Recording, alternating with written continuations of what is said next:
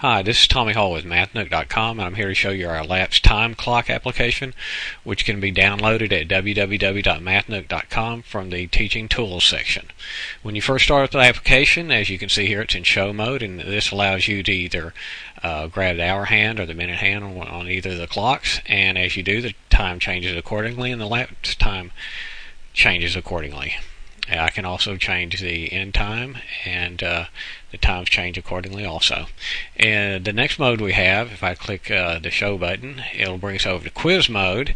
And what this does, it allows you to quiz on the time. So if I was to set the clock at 6 o'clock, the start time is 6.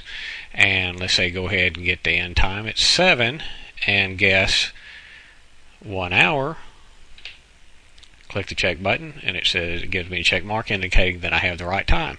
If the clock is I move the end time to 7:15 and uh, change the time elapsed time to 110, which is incorrect, it indicates that I the correct answer is actually one hour and 15 minutes. That's how quiz mode works. It can be uh, you can quiz on the start time, elapsed time as we saw earlier, and end time. The other mode uh, we have is random, and that's where a random start time and a random end time is generated, and uh, you're to guess the elapsed time based on the uh, random times. So uh, here start time is 12:43 and the end time is 2:28.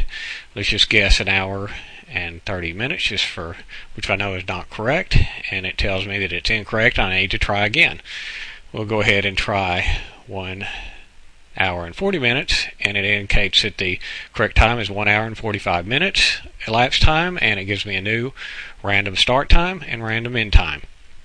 Uh, the next mode we have is random 5, and it works the same as random mode, except the times are increments of 5 minutes, and the other random mode is in increments of 1 minute.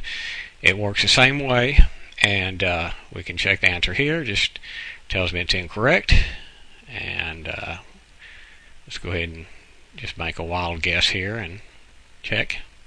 Tells me the actual time, uh, last time is 10 hours and 0 minutes, and gives me a new start, a random start time and a random end time in 5 minute increments. Now this application has been set up to uh, be whiteboard friendly and that's why we have the uh, you can enter the time by clicking these buttons here or you can enter it from the keyboard also the application is very customizable you can click the lock button. You can resize anything on the screen. As you notice, as they resize, you don't lose any of the detail and they stay sharp looking. That makes it ideal for interactive whiteboards and also larger displays. You can also click the button again and you can move anything around on the screen to customize a view to anything you like. Uh, uh, that's our application. Hope you like it. Thanks for watching.